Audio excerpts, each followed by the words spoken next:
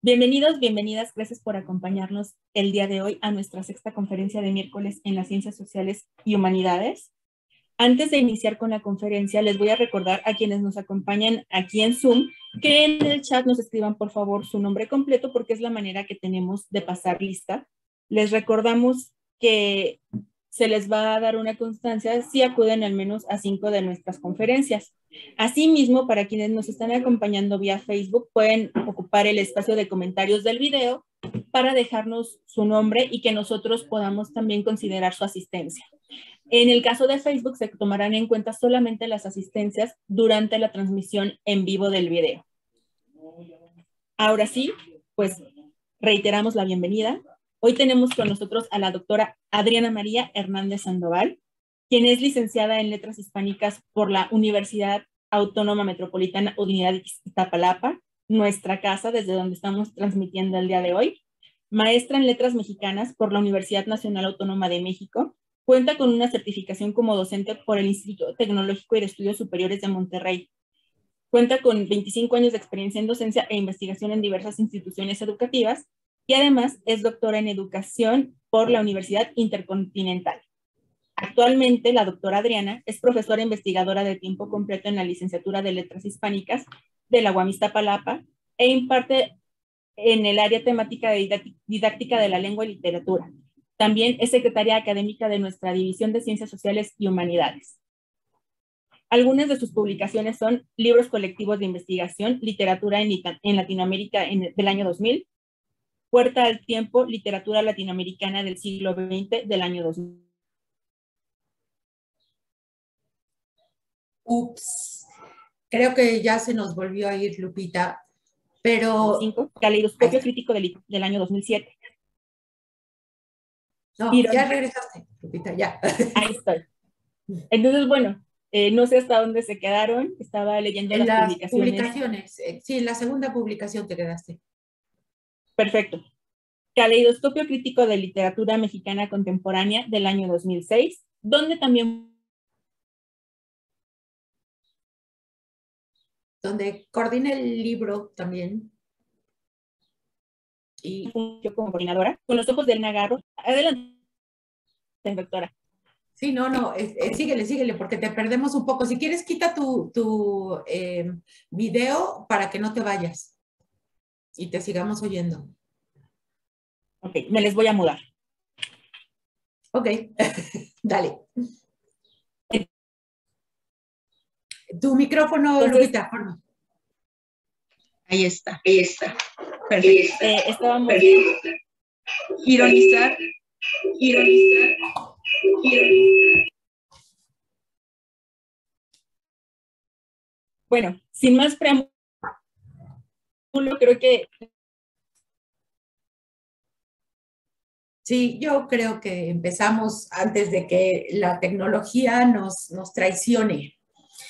Ok, eh, bueno, pues esta eh, plática que, les, que, les, voy a, compartir tiene que ver con mi, eh, con mi tesis doctoral. Lo que, lo que estuvimos trabajando fue precisamente una un estudio sobre lo que piensan los profesores eh, de la UAM Iztapalapa sobre la, lectura, la enseñanza de la lectura y la escritura en la universidad. Es obvio, ¿no?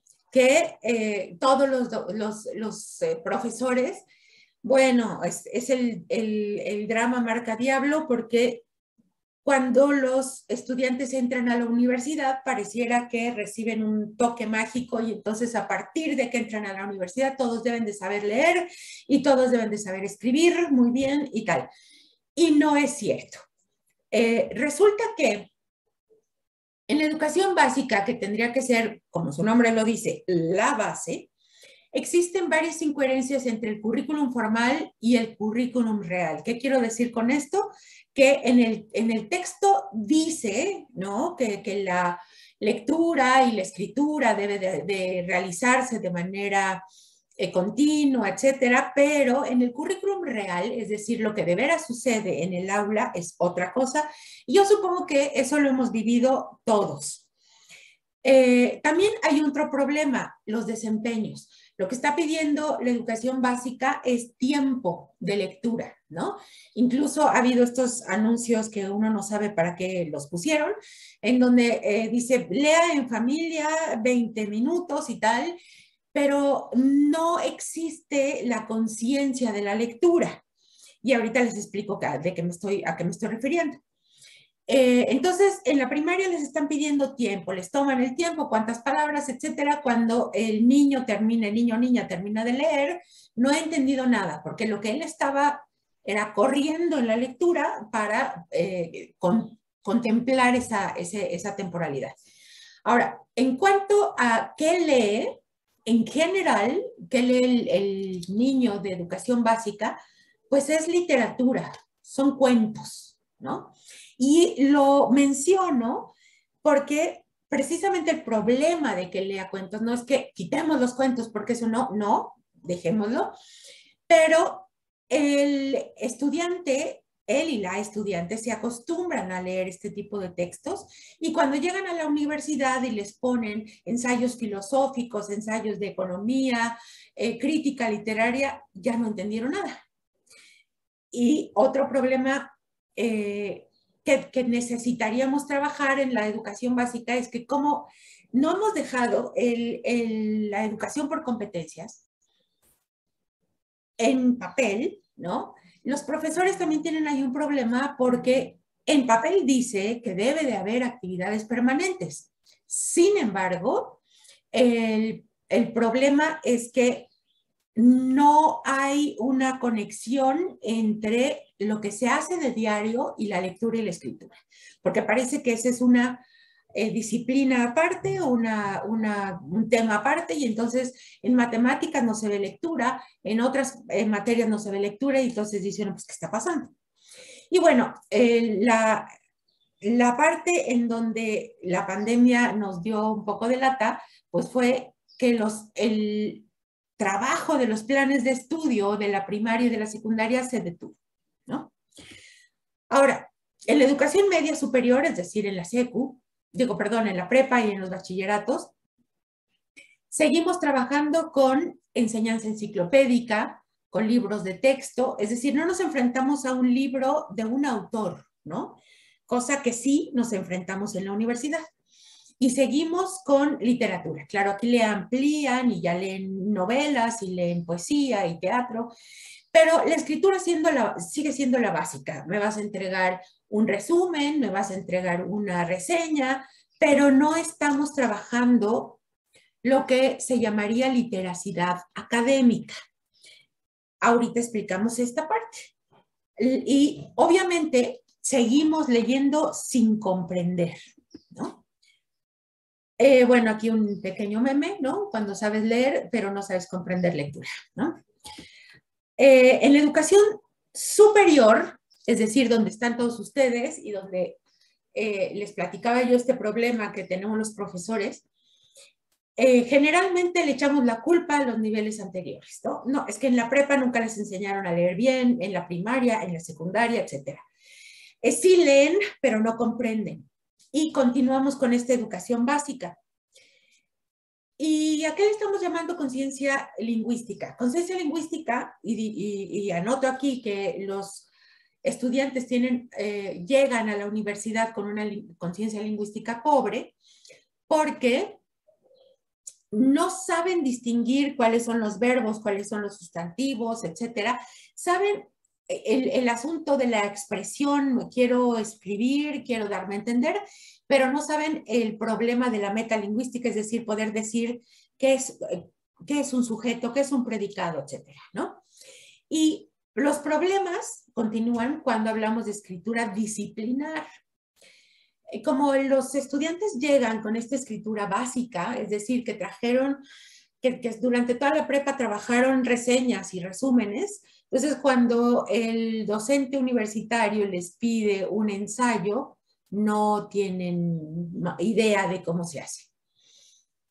Y aquí entra nuestro papel como docentes. Si nos ponemos a pensar con mucha más profundidad, resulta que los docentes de la universidad representamos la última oportunidad para que los estudiantes adquieran esas habilidades de escritura y de lectura. Y por otro lado, los estudiantes, y las estudiantes tendrían que comprometerse porque saben que es su última oportunidad. Entonces, aquí hay un problema que se tiene que resolver de dos lados, estudiantes y docentes. Bueno. Entonces, les había yo dicho que qué era esto de literacidad. Pues literacidad es todo lo que le llamamos la cultura letrada, es decir, todo lo que se lee, todo lo que se escribe, y justo la alfabetización es enseñar esta cultura letrada, ¿no? Entonces, ahora les explico por qué les eh, presentaba yo los problemas que teníamos en primaria, secundaria y prepa. Eh, a la hora de la alfabetización, pues entonces lo que estamos trabajando en la primaria y en la secundaria, pues son elementos básicos, cuando pasamos de la primaria a la secundaria, necesitaríamos subir algún tipo de escalón, algún tipo de, eh, nivel en donde el problema de la lectura sea un poquito más complejo y cuando lleguemos a la prepa sea un poquito más complejo para que cuando lleguemos a la universidad tengamos la habilidad para encontrarle la manera de leer textos de nuestras disciplinas. Porque la literacidad, seguro todos la tenemos, todos sabemos leer, todos sabemos escribir, y sin embargo, nuestro problema principal viene a ser cómo enseñamos la alfabetización, más bien, cómo enseñamos la, la literacidad de nuestra disciplina. Es decir, cómo leemos textos de nuestra disciplina, cómo escribimos textos de nuestra disciplina, cómo nos expresamos y cómo nos conducimos. No solamente es la parte de la escritura y de la lectura. En las disciplinas también hay conductas que se aprenden y que pertenecen a esta parte de la literacidad, es decir, de la cultura escrita. Eh, hay, por ejemplo, para los abogados hay una estricta manera de escribir las cosas cosa que a lo mejor no sucedería con otro tipo de disciplina. Pero cada comunidad disciplinar es la que nos enseña, ¿no? O la que tendría que enseñar a los, que, a los nuevos que se van adhiriendo a esta comunidad. Es decir, el profesor enseñarle a los estudiantes cómo se lee un texto de química o cómo se escribe un reporte de laboratorio, de química, de física, de matemáticas, qué sé yo, ¿no? Porque aquí el problema es que si nosotros, si ustedes lo han visto, profesores y estudiantes, eh, las planes de estudio establecen, por ejemplo, que haya una materia que se llame eh, prácticas de lectura y redacción o técnicas de lectura y redacción, y hay planes de estudio que ni siquiera lo contemplan, ¿no? Y entonces ahí suponemos que el estudiante va a subsanar todos los problemas que venga cargando desde la primaria. Obviamente en tres meses no se puede. Y número dos, nos ponen a los, de, a los de literatura o a veces hasta los de lingüística a dar ese tipo de eh, cursos. Y ahí hay un grave problema. ¿Por qué? Porque yo sé leer y escribir literatura, yo sé leer y escribir algunas otras disciplinas, pero por ejemplo no sé leer eh, química o física o biología o incluso ciencia política o sociología, ¿no? No es que no lo sepamos leer.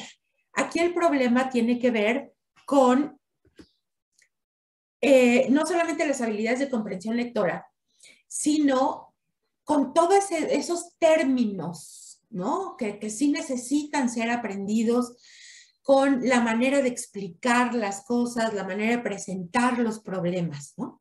Entonces, la literacia disciplinar necesita habilidades de comprensión lectora, habilidades de comunicación escrita, el pensamiento crítico específico de tu, de tu área, de tu disciplina, habilidades de comunicación oral, y con todo esto, ¿no? podemos trabajar con la lectura, con la cultura letrada dentro de tu disciplina, ¿no? Entonces, lo que yo hice fue un estudio cualitativo. Hice una encuesta eh, y aquí está eh, Josué Tinoco, que también le apliqué la encuesta, y varios otros profesores que me apoyaron en eso.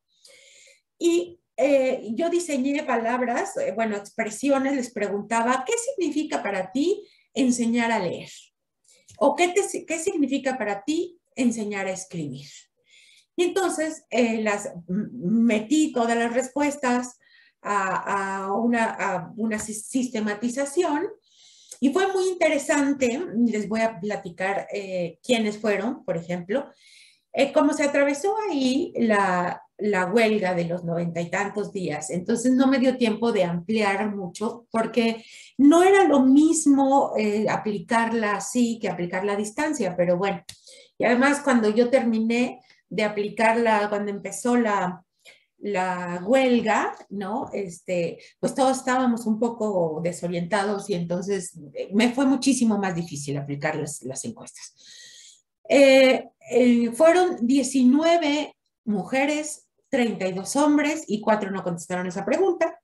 El promedio de edad fue de 52 años. Hubo 14 profesores de CBI, 31 de sociales y humanidades y 10 de eh, biología y salud. El grado académico, si ustedes observan, pues fueron casi todos, el 70% doctorados, 22 eh, de maestría, 2% de licenciatura y 6% no contestó esa pregunta. Estas eh, licenciaturas fueron las, las que, con las que apliqué esta encuesta, ¿no? Entonces, hubo gran variedad de profesores, que eso era lo que yo quería. Eh, les pregunté si habían tenido alguna formación docente anterior a la UAM y la mayoría dijo que sí. Si tenían interés por temas de la docencia y la mayoría dijo que sí. Y si habían tomado recientemente cursos o seminarios o conferencias relativas a la docencia y la mayoría dijo que sí. Obviamente tenemos que ponernos, eh, meternos dentro un poco del campo disciplinar de los docentes. Los docentes nunca van a decir que no les importa la docencia, nunca van a decir que, no están formados para la docencia. Y entonces aquí eh, no estoy diciendo que hayan mentido, estoy diciendo que es parte de nuestra parte de nuestro campo burdiano decir que sí somos docentes, ¿no? Eh, dijeron, eh, los docentes dijeron que la, obviamente dijeron que la escritura y la lectura eran muy importantes, así con letras grandes, ¿no? Dijeron también que la lectura mejora el estudio, ¿no? Que la, la escritura es necesaria para el ámbito laboral, que ellos sí conocen cómo se escribe, ellos sí lo saben, ¿no? Y que pueden establecer los errores en una exposición. Sin embargo, todo esto viene a ser el sentido común de nuestros docentes, ¿no? Donde ya me metí un poco más fue en esta parte de lo que le llamamos representaciones, eh, que es esto que se lee, digamos, entre líneas de lo que están diciendo los docentes, ¿no? Y el docente, por un lado, eh, hay dos, eh, establecido dos grupos de docentes. Por un lado, uno que cree que la enseñanza de la escritura es labor exclusiva del docente de habilidades de comunicación escrita y no del docente disciplinar. Ok. Y también dice que no se debe enseñar a leer y escribir en la universidad. Ojo ahí. El segundo grupo dijo que está convencido de que es muy importante, de que se debe hacer, la, alfabetización, es decir, la enseñanza de la escritura y de la lectura. Que eh, el encargado de alfabetizar en, las disciplinas tiene que ser el docente disciplinar y que se debe acompañar al estudiante en el desarrollo de estas habilidades de lectoescritura, pero muy interesante, en el campo del eh, alumno, del estudiante, ¿no? Y por otro lado, porque yo no les pregunté sobre el estudiante, pero ellos sí lo dijeron. y dijeron que el estudiante debe llegar sabiendo leer y escribir, es decir, alfabetizado. Sin, em, eh, sin embargo, sabemos que llega alfabetizado, pero a nivel medio superior, es decir, que las habilidades llegan de la prepa, porque son diferentes las habilidades de la prepa y de la universidad. Entonces, no podemos decir que los estudiantes llegan de la prepa sabiendo cómo se lee en la universidad. Claro que no. Y yo supongo que ahorita los estudiantes nos podrían decir, cuando termine yo de tirar aquí mi rollazo, nos pueden decir cómo les fue en la feria, cuando entraron a la universidad y se dieron cuenta que no iban a leer cuentitos y que no iban a leer eh, cosas que habían leído a lo largo de la primaria, la secundaria y la prepa. También eh, decían que el estudiante debería aprender habilidades de escritura de nivel superior, pero ellos no iban a trabajar eso. Que para eso estaban los talleres, que para eso ellos podían ir a un, o al, otro lugar a aprender esas habilidades que les faltaban. Y eh, el estudiante de universidad, algunos docentes sí lo dijeron, se enfrenta a otro tipo de literacidad, es decir, a otra manera de leer, a otra manera de escribir. ¿no? Qué bueno que hay docentes en nuestra universidad que sí se da cuenta que lo que leyeron antes de entrar a la universidad les sirve, pero no lo apoya del todo dentro de sus eh, carreras. Entonces, como ustedes ven, el docente ubica el problema en el, en el alumno. Él tiene la culpa porque no sabe leer y escribir. Y la otra parte dice, si nosotros tenemos el problema, nosotros debemos de atajar el problema. Y entonces, lo que nos dicen es, primero, por, por estar dentro de una disciplina, ellos dicen, yo sí sé leer y yo sí sé eh, escribir y yo sí sé enseñar, ¿no? Sin embargo, varios de ellos nos dicen, pero no sé enseñar a leer y escribir en mi disciplina. Luego, eh, el docente se ubica dentro de su disciplina, pero no dentro del grupo de docentes. Eso a mí me causó así como, porque precisamente él decía, a mí no me toca dar eso. Yo doy mate, yo doy química, yo doy ciencia política, pero no doy lectoescritura. Bueno, y por otro lado, esos profesores que dijeron, sí, sí, yo le entro, eh, sabe que no tiene todos los saberes docentes, ¿no? Sabe que puede dar una clase, hubo profesores que tenían más de 20 años dando clase, ¿no? Los que contestaron esta, esta encuesta, pero me ocultaron todas las deficiencias de estos eh, saberes docentes para enseñar a leer y a escribir, ¿no? Porque les da terror porque no saben si de veras lo saben hacer o no, ¿no? Y sobre todo lo que me encantó fue que en la gran mayoría decían, yo estoy dispuesto a aprender cómo se hace, pero que alguien me enseñe. Estoy dispuesto a aprender y estoy dispuesto a enseñar estas habilidades. Entonces, lo que se descubre a final de cuentas es que existe una interacción, que era lo que les decía yo al principio, el problema de la lectura y la escritura no es del docente solamente, no es del alumno solamente, sino que tiene que ver con esta interacción. Eh, necesitan aprender sobre alfabetización disciplinar los dos, ¿no? El docente no pertenece a esas, eh, a esas prácticas porque generalmente en las carreras no se enseñan este tipo de cosas. Y, estos docentes que yo les digo saben los contenidos. Muchos me contestaron, este es el sujeto y este es el predicado y a los alumnos les faltan los verbos y les faltan las comas, etcétera. Pero dice, yo no sé enseñar.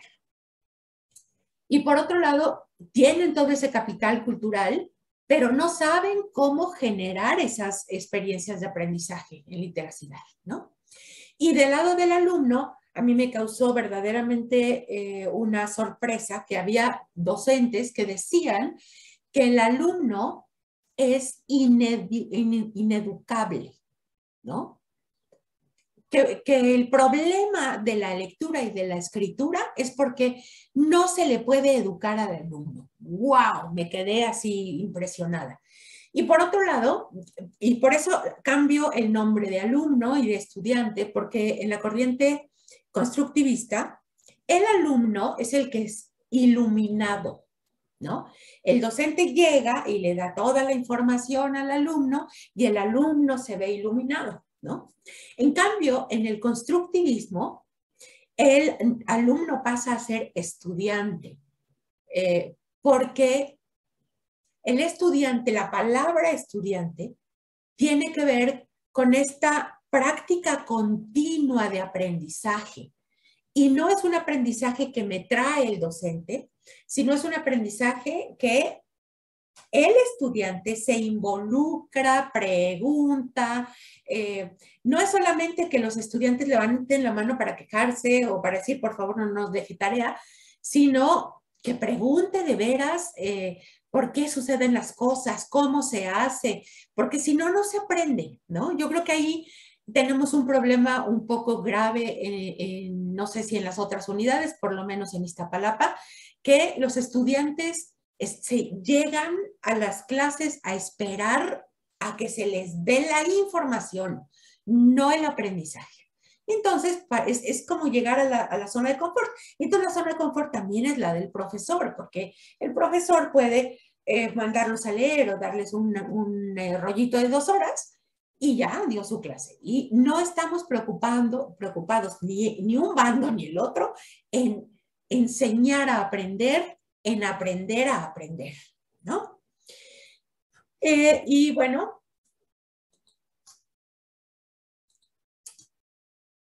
Entonces encontré estas tres categorías, un ente que es educable y por eso le llamamos estudiante, el docente que dice que, que cree ¿no? que su alumno no es educable y el docente que solo explica contenidos y conceptos y entonces no está mirando al alumno. Él llega a su clase, bye, ¿no? Y así no es la onda, ¿no? Así no es el, el trabajo ni del docente ni del estudiante. Y entonces, a final de cuentas, la alfabetización disciplinar, es decir, lo que se lee y lo que se escribe, necesita la participación del docente, ¿no? Y también el docente necesita ser profesionalizado en el campo de la alfabetización disciplinar. En otras universidades encontré que, por ejemplo, en la, de, en la Sarmiento de Argentina, lo que hizo Lucía Natale fue contratar a un grupo de lingüistas para enseñarlos, eh, eh, enseñar a enseñar a leer y escribir, pero como los docentes no lo hacían, entonces pedían permiso a estos lingüistas entrar una vez cada dos o tres semanas a la clase para que ellos trabajaran la parte de la lectura y la escritura. Y ahí el problema que yo le veo es que el lingüista no sabe lo que está enseñando el, eh, ingeniero, el filósofo, etcétera, ¿no? Entonces ahí hay una brecha que eh, el estudiante observa como me están enseñando verbos y me están enseñando sujetos y predicados, etcétera, pero no me están enseñando a hacer un ensayo filosófico si soy filósofo, o no me están enseñando a hacer un reporte de laboratorio si yo soy biólogo o si soy químico, ¿no? Yo creo que ese, ese pequeño resquicio es el que nos falta, ¿no? Y bueno, eso es lo que les falta a la Universidad de Sarmiento.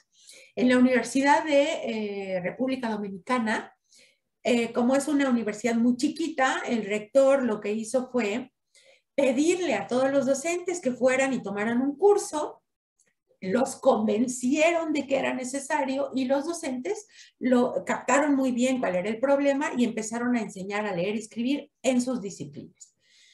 Em, por ejemplo, la Ibero ya lo está haciendo con sus docentes, está dando como una especie de diplomados en donde va llevando al docente en la enseñanza de la escritura y la lectura. Y yo creo que sí nos correspondería a los docentes de la UAM, por lo menos de Iztapalapa, aprender cómo se enseña a leer y escribir. ¿no? Si yo soy, qué sé yo, este administrador, y enseño cosas de administración, entonces necesitaría aprender cómo puedo enseñarles a leer textos de administración y escribir cosas de administración, ¿no?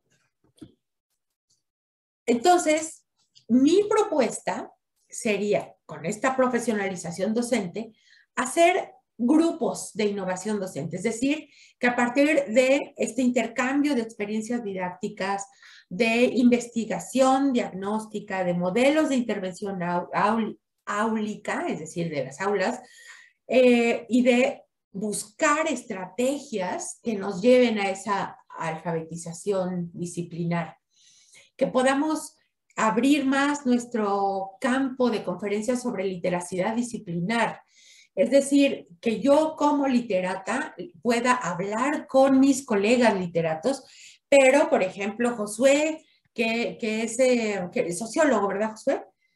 Él pueda aprender a enseñar lectura y escritura y acompañe a sus docentes en el, por lo menos en el departamento de sociología, a hacer eso, ¿no? Y así eh, con todos, ¿no? Eso sería lo mejor.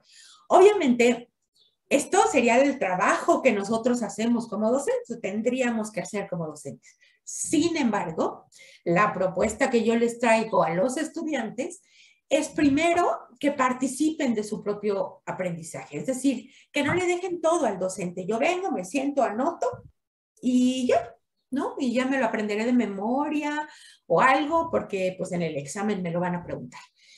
En el momento en que, como esto es una cuestión de, intercambio en el salón de clases, aunque sea a distancia, es, una cuestión de intercambio, el alumno puede empezar a participar y entonces el docente se va a dar cuenta que existes, que, tienes dudas, que tienes...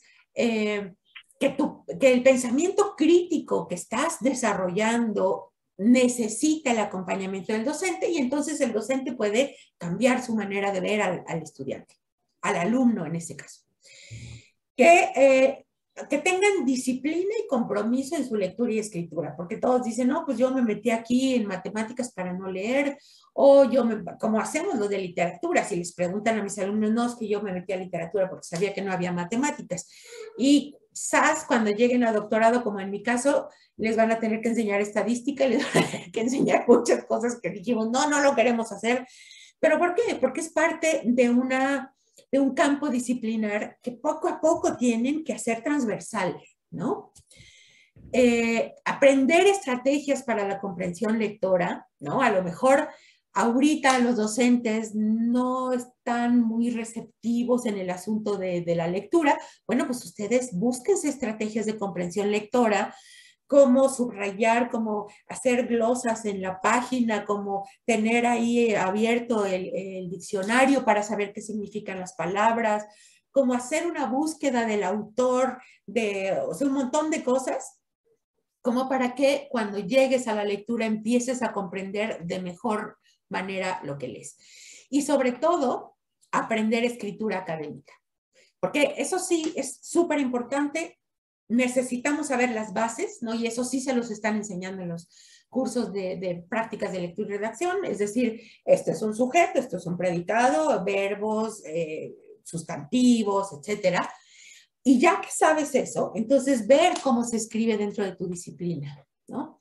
Les decía yo, no es lo mismo como escribe un abogado que como escribe un químico, que como escribe, porque en el fondo les va a tocar escribir. Eh, los, los de las áreas de, de ciencia hacen papers, hacen artículos científicos y también tienen que aprender cómo se hacen, ¿no? No solamente es aprender cómo se investiga, sino ahora todo lo que investigué, cómo lo regreso a la, sociedad, no solamente a mi campo disciplinar, como lo regreso a la divulgación para que se enteren que fue lo que estuvimos trabajando ahí, ¿no?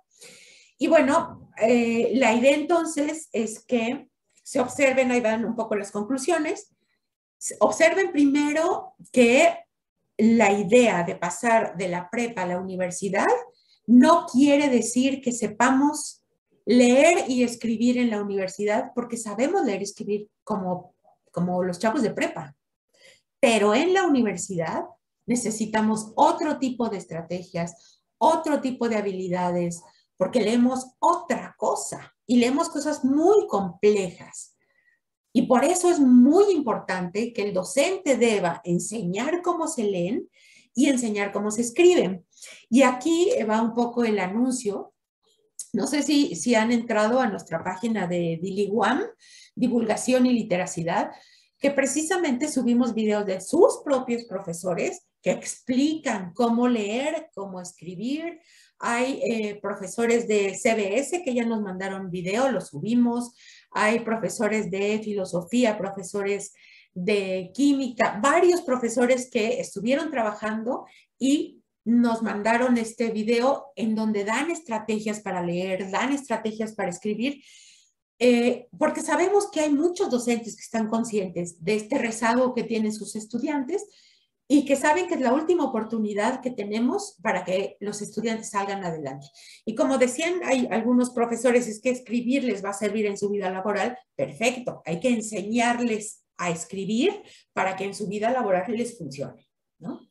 Y bueno, este, les agradezco mucho, mucho, mucho haber estado aquí en la, en la plática, el rollito que me acabo de, de aventar, pero lo que más me interesa es que ustedes se den cuenta de esta necesidad que tenemos los docentes de que ustedes aprendan a leer y escribir, pero que también necesitamos nosotros trabajar en esta parte y que ustedes como estudiantes necesitan trabajar la parte de la lectura y la escritura porque no, no es porque leer sea bueno o malo, en esta parte de, ética o valorativa, sino porque ya nos hemos, eh, ya nos hemos dado cuenta que eh, cuando un estudiante sale y no sabe bien leer y no sabe bien escribir, obviamente le causa más problemas encontrar trabajo. Entonces, piensen en presente, aprendan a hacer esto, piensen a futuro, porque lo que aprenden aquí pues les va a servir muchísimo a futuro, ¿no? Pues muchas gracias y ahora sí venga con sus preguntas.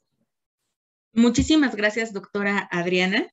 Eh, mientras ustedes se animan a hacer preguntas, les vamos a platicar un poquito cómo va a ser la dinámica. Para quienes nos acompañan aquí en Zoom, en la parte de abajo de la pantalla hay una carita feliz que dice reacciones. Ustedes pueden ahí levantar la mano para que nosotros mantengamos un orden y podamos entendernos. Si no, pueden hacer uso del chat, pueden escribirnos sus preguntas y nosotros con mucho gusto las leemos. Para quienes nos acompañan en Facebook, eh, por favor, si tienen alguna pregunta o algún comentario, lo pueden escribir en la sección de comentarios del video para que podamos traerlo de este lado y sea respondido por la doctora Adriana. Mientras tanto, les queremos invitar a la siguiente conferencia del próximo miércoles 13 de abril, que se titula La importancia de un sistema de evaluación de un sistema de evaluación financiera para las sociedades cooperativas de ahorro y préstamos en México. Entonces, para quien guste acompañarnos el próximo 13. Wendy, adelante con tu pregunta, por favor. Este, buenas tardes, primeramente. Este, muchas gracias por su presentación. Y bueno, la, la, primera cosa que quería decir era más como un comentario este, con respecto a cómo dice que hizo sus evaluaciones. Bueno, yo considero que podría, este, como dice usted, cuando tiene preguntas que sabe que tal vez le van a responder que sí, de que decía, no, es que este, yo sabía que todos me iban a decir que sí les interesa la docencia, ¿no? Entonces, creo que estaría bien manejar un poquito más allí, tal vez una escala, ¿no? Decirle, a ver, mm, del 1 al 10, ¿qué tanto te interesa la docencia, ¿no? Y tal vez ahí ya creo que sería un poquito más, este, más desglosado el poder ver este, a qué profesores sí realmente les interesa conocer la docencia y a qué profesores pues realmente lo hacen, como dices, nomás porque es de los requisitos, ¿no? Sí. Bueno, Ese, ese, era como un comentario. Y ya como, como cuestionamiento y un poquito entrando a, a lo que es el tema, este, yo me he quedado con algo de que está bien eso de, de que los profesores nos enseñen, pero creo que hay veces que por la diferencia de generaciones, por decirlo así, este, mm, a veces es un poquito difícil conectar con ellos, ¿no? Porque, porque ellos este, nos quieren dar ejemplos, pero con temas o con cuestiones que tal vez vivieron, o con cosas que estuvieran relacionadas a, a una, cierta, a un una cierta etapa, ¿no? Y por ejemplo, cuando nosotros queremos este, hablar o compartir, pues estamos como relacionados con solo nuestro entorno, ¿no? Y pues así como que a veces hay choques, ¿no? Por ejemplo, yo, yo bueno, lo, retomo porque en una clase este, el profesor nos preguntaba sobre un cierto tipo de, trabajos, ¿no? Decía, voy a ver, nombren trabajos donde la gente solo este, pueda tener sus tiempos, ¿no? Y yo le comentaba sobre los streamers y él me decía, pero ¿qué es un streamer, no? No conozco de eso. Y entonces como que ahí también uno como alumno a veces pierde interés en conocer más y, este, y aprender, como dice usted, de, desarrollar los temas, porque dice, bueno, entonces tal vez no sea lo correcto, porque no, no, él, él, tampoco conoce de lo mío, o luego él da ejemplos un poquito que tal vez este, dice, ¿no? Por ejemplo, decía el ropavejero, y yo, ropavejero? Ah, sí, sí me acuerdo, pero por la canción de, de ¿no? Exacto, pero no existen. Ya, no, ya no existen, exacto, ¿no? Entonces creo que este, en esa parte de, de, cómo nos enseñan a leer y a, escribir, creo que sí debería que ser, como dice usted, ¿no? Un curso, estaría perfecto que todos los profesores pudieran tomarlo, pero que los tomen con, docentes que son o jóvenes o, que traten de incluir temas que, que, favorezcan ¿no? al interés del alumnado, igual del mismo, de la misma manera, ¿no? El alumnado tiene que tener esa responsabilidad de, de estarse al pendiente de, de, por ejemplo, cosas sencillas como lo son las noticias o algunos artículos que se publican dentro de la misma universidad, ¿no? Y este, bueno, y, y, nada más como último, pues también, este, em, a veces, bueno, eso lo digo por, por experiencia propia, este, como he dado clases a, a nivel este, sencillo, ¿no? Como este, preparación para examen de universidad. Entonces, a veces a nosotros se nos complica como docentes este, decirles, ah, mira, se tiene que ser así, porque a veces ni uno mismo lo sabe, ¿no? O a veces uno mismo no lo ha practicado lo suficiente, ¿no? Y es por eso que tal vez algunos profesores en el miedo de ver que no saben o exponer sus, como dice este, sus, sus faltas, este, prefiere decir, no, yo no enseño eso, o no, a mí no me va a interesar calificarles eso, ¿no? Y entonces ahí también los alumnos este, dicen, ah, pues no va a calificar fotografía, pues mientras venga el contenido, pues ya está, ¿no? Entonces ahí como que también es, es algo de, ¿cómo se dice? Entre, entre ambos ahí nos echamos este, la, la, mano. Claro, claro. Sí, sí, perdón. Este, tienes toda la razón, Wendy. Este, les preguntaba yo si les interesaba o no la docencia en un cachito de la encuesta, que en realidad eso no era lo que me importaba, pero eso, es, eso también lo queremos hacer como parte del, del trabajo de la, de la división, que sea eh, ¿Cómo le hacemos para que el docente se comprometa, ¿no? A, tomar estos cursos, a, etcétera, ¿no? Y entonces sí sería importante hacer primero este trabajo de diagnóstico. Te agradezco mucho. Eh, y sí, sí, habría que hacer un trabajo conjunto. Va. Y apenas acabo de leer lo del chat y, y sí me di cuenta, lo que pasa es que estoy en dos pantallas y, no me he dado cuenta que la presentación se veía con la siguiente. Perdón, perdón. Eh, es la primera vez que utilizo dos pantallas. Perdón. No se preocupe.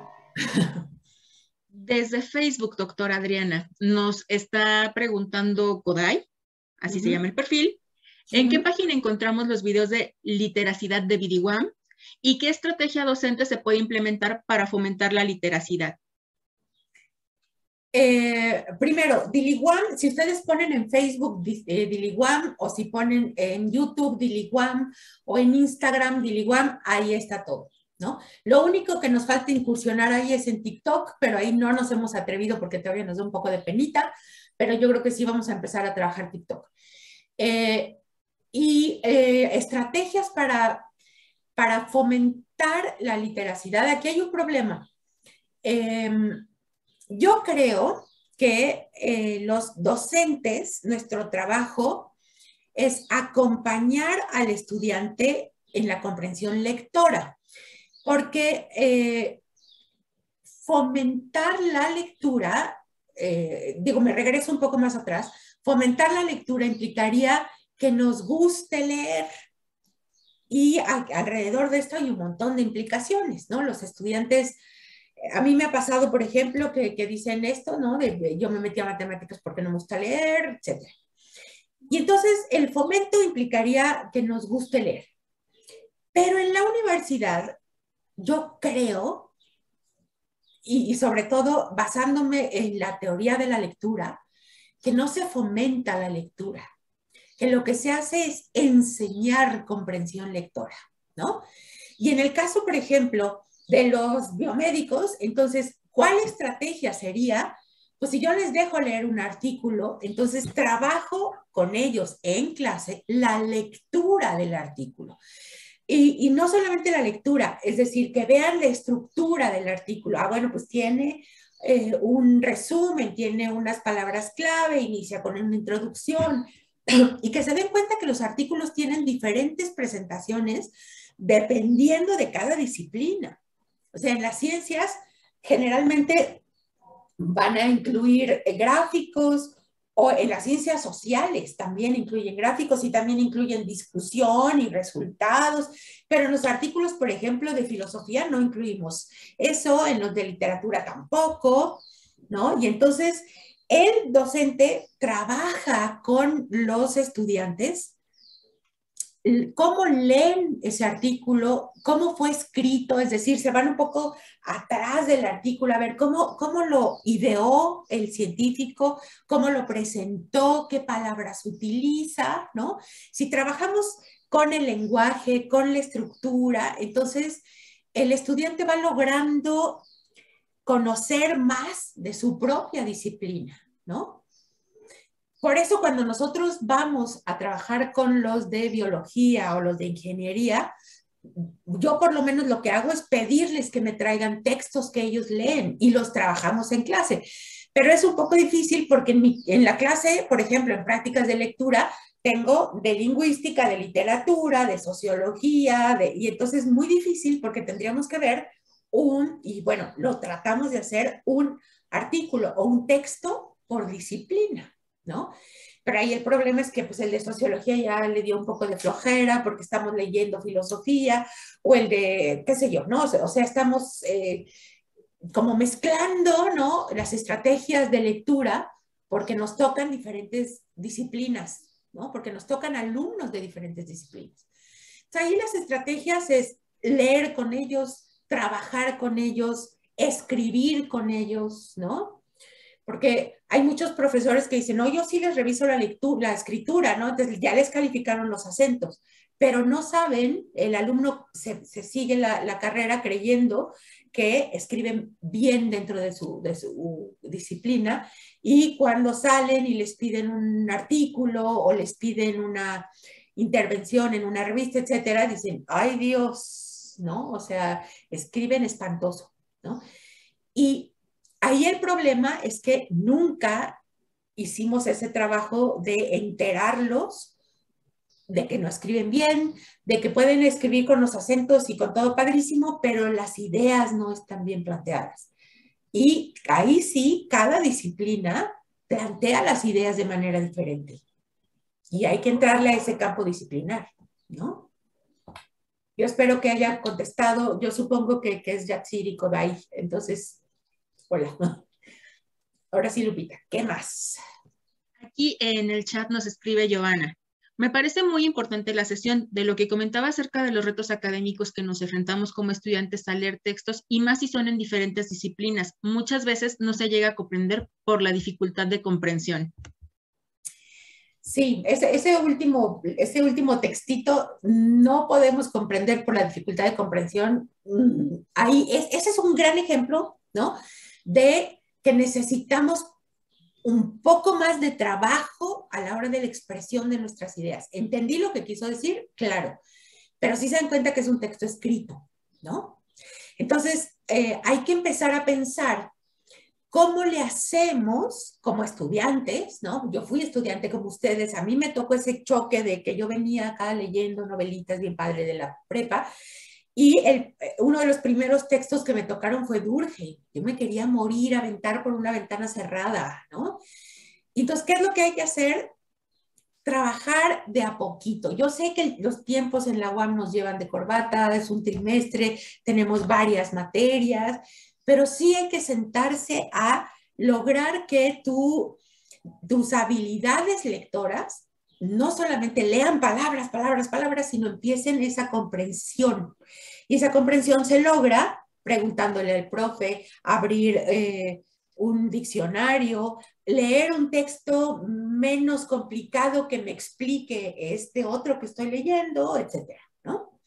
Wendy, ay, perdón, Lupita, yo ya me metí. Eh, un momentito, ahorita le damos la palabra a Wendy. Tenemos un comentario de Facebook que lleva ahí unos minutitos, entonces este comentario y luego sigue Wendy, por favor. Adelante, adelante, sí. Elizabeth nos dice, sugerencia a los padres para comenzar con los niños, ¿podría apoyarme, por favor? ¿Alguna técnica para el gusto por la lectura? Tal vez esté fuera de contexto y excelente presentación. Esta situación se presenta con los profesores, pero no todos aceptan o dan apertura. Muchas gracias. claro. Con los papás estamos mucho más cerca de los chavos, y sobre todo cuando son chiquitos, y generalmente los papás entramos al asunto de la lectura con cuentos, ¿no? Y va a haber chavitos que les encanta, padrísimo, pero si en la escuela les dan cuentos, si en la casa le dan cuentos, seguimos teniendo este problema de, de literacidad porque solo leemos cuentos, solo sabemos leer cuentos. Y a veces ni eso, pues, pero... Ahora, mi consejo es que como papás habría que ampliarles la visión y si a tu hijo le gustan los astronautas, pues hay que buscar textos de astronautas y si le gustan los insectos, pues hay que buscar textos de insectos, no cuentos, textos científicos de divulgación, que sí hay para niños. O sea, revistas como esta de la UNAM de cómo ves, sirven muchísimo porque como tienen fotos y tal, a los, a los niños, ¿no? y a las niñas les gusta muchísimo cuando están muy interesadas en esto. Y, y como los niños tienen así como muchas eh, ideas de lo que les gusta, pues hay que trabajarlas todas, ¿no? Es decir, que, necesiten eh, buscar esa manera de eh, acercar a los chavitos en la lectura, porque les va a ayudar en la primaria, en la secundaria, en la prepa y en la universidad. No es solamente que les guste, sino que le entiendan, ¿no? Y si estamos ahí como papás, pues estamos explicando, ¿no? Por eso, por ejemplo, hay eh, varias editoriales en donde los libros están clasificados por edades. ¿no?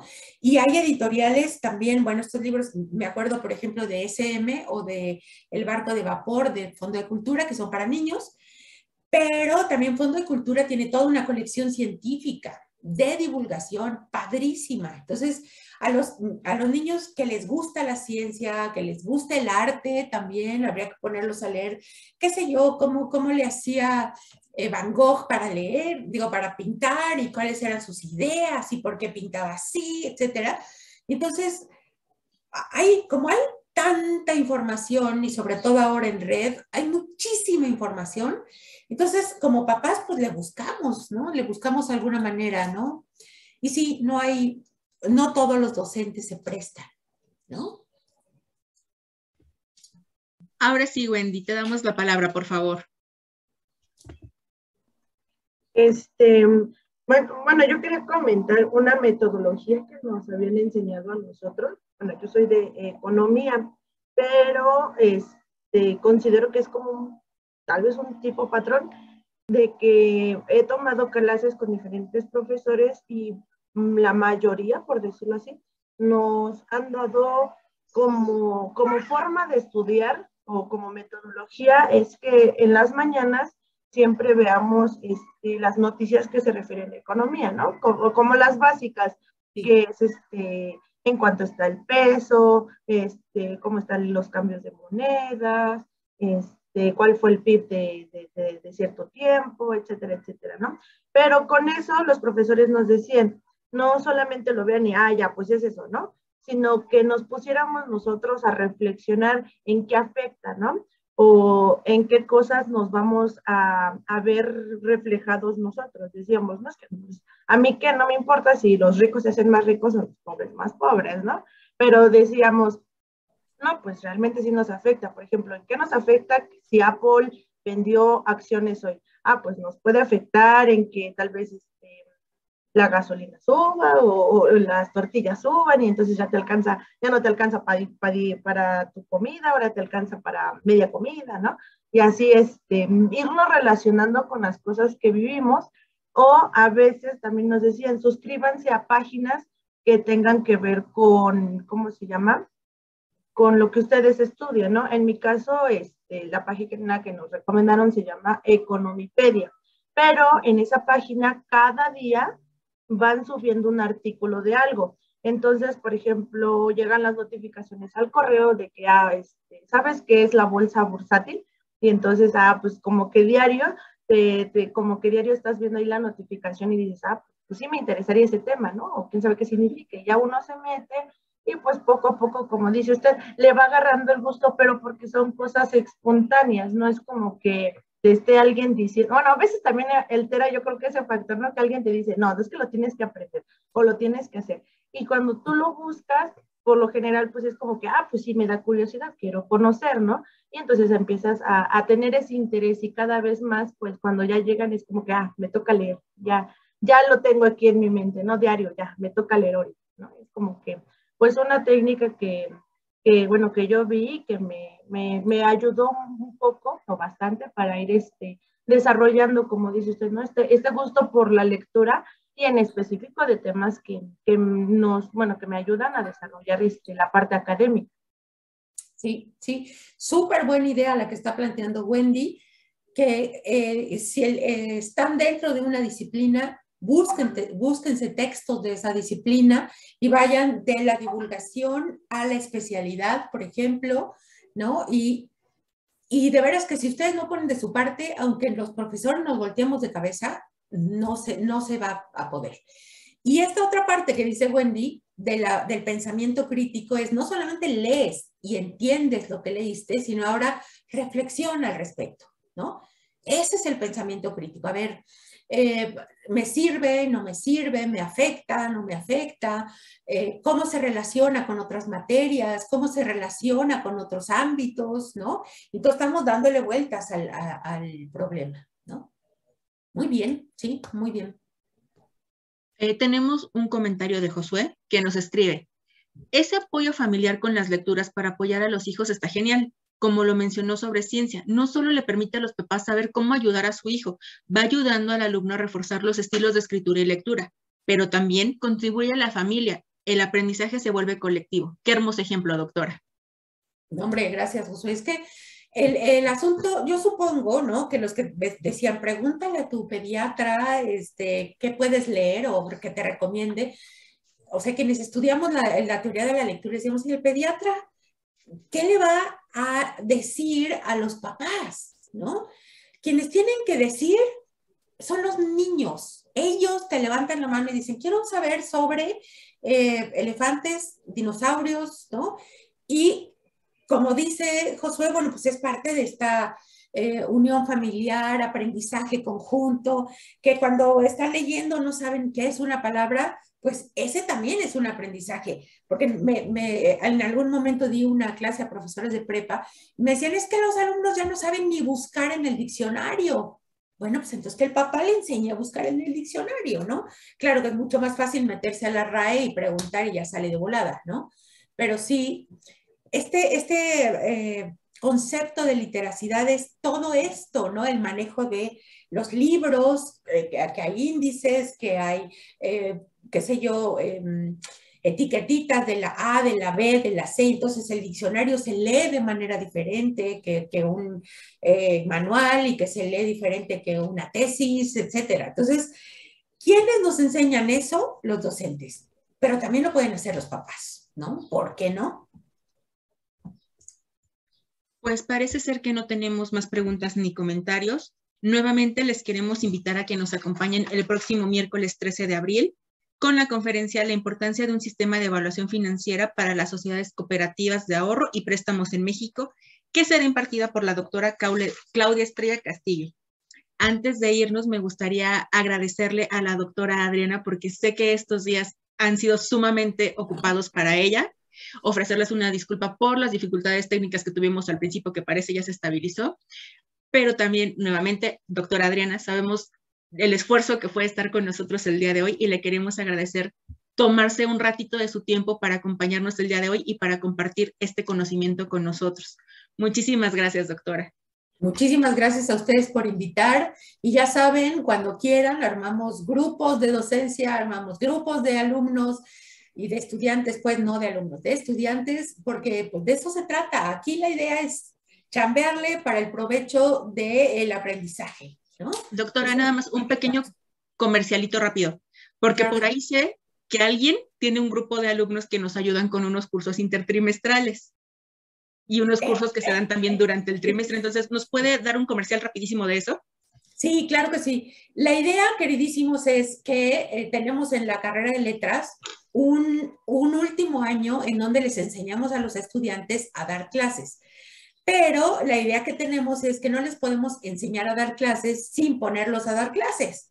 Entonces, lo que estamos haciendo con, el, seminario terminal de didáctica es que estos alumnos ahorita están dando talleres eh, a distancia, obviamente, ¿no? Eh, tenemos nuestra página de talleres de lectura y escritura para la comunidad WAM, así búsquenlo en Facebook, esa es la página y ahí eh, ponemos eh, todo lo que, lo que tenemos para, para, el trimestre. Acuérdense de entrar una semana antes de que empecemos el trimestre para poder eh, tener lugar en sus talleres.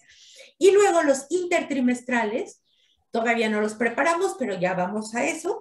También sus compañeros de didáctica de la lengua y la literatura van a trabajar con, muchas gracias, ahí nos lo está poniendo Lupita, la, que, está diciendo que, ah, que los eh, talleres intertrimestrales también van a estar dados por los compañeros del seminario, ¿no? Y ello es muy padre porque la dinámica es, yo sé un poquito más de lo que tú sabes sobre lengua, ¿no? Sobre esto de los sujetos y los predicados, pero tú sabes más de los escritos disciplinares. Entonces, hacemos intercambio. Tú me enseñas a hacer eh, reportes de laboratorio y yo te enseño a escribir de manera correcta. Entonces, podemos utilizar esos talleres intertrimestrales para que ustedes le metan fuego a su tesis, trabajen las tareas, eh, los ensayos finales de sus trimestres. Es decir, aquí trabajamos todos para todos. Entonces, en cuanto tengamos los eh, fechas y todo esto de los talleres intertrimestrales, los vamos a poner también en, este, en esta página de Facebook o en la de la Secretaría Académica, que en algún momento vamos a trabajar en ella. O igual si Lupita nos da un espacio, trabajamos en la coordinación de docencia y ahí metemos los, los eh, avisos de talleres intertrimestrales. Claro que sí, sin ningún problema, cualquier anuncio lo podemos hacer ahí. Ya les dejamos en este momento en el chat y en Facebook el link de la página de los talleres para quien esté interesado, interesada, pueda ir y ver, darle seguimiento para ver cuándo se abren. Doctora, nuevamente, muchísimas gracias por estar con nosotros y esperamos contar con usted en futuros ciclos. Claro que sí. Gracias a ustedes.